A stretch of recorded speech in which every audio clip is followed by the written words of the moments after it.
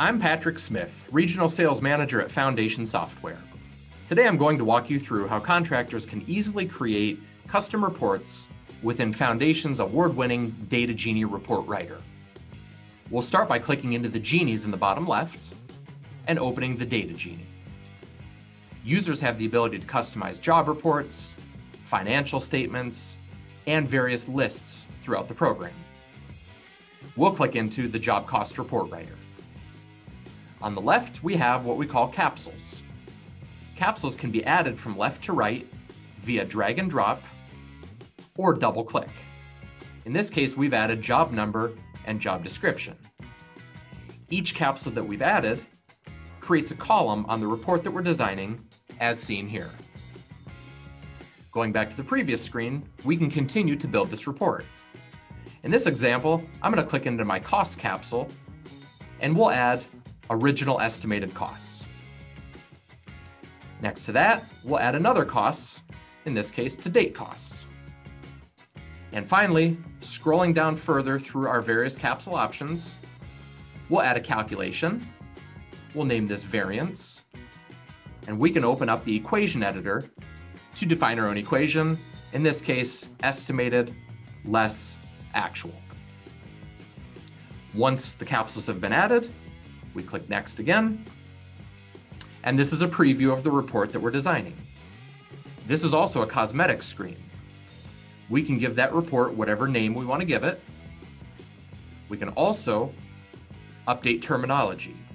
Maybe instead of original estimated costs, I'd like to call that budgeted costs. Columns can also be resized via drag and drop based on user preferences. Once the layout is in order, we'll click Next again, where we can define our own drill downs. The Data Genie does provide custom drill down capabilities.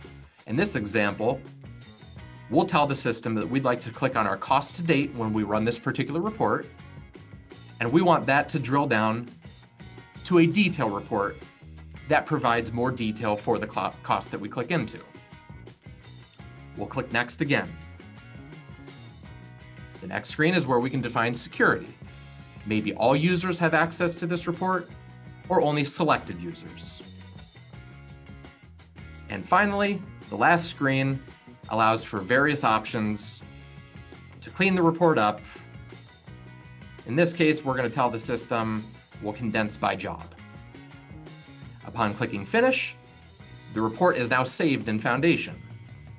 We can go to our Reports menu under Job Costing, go to Job Cost Activity, and open our drop-down list, which includes predefined Foundation reports, as well as the report that we just created. We'll give it a job range, run the report, and this is the report that we just designed, showing budgeted cost, actual cost with a drill down, and the custom variance calculation. And that is all there is to it. Thanks for viewing today.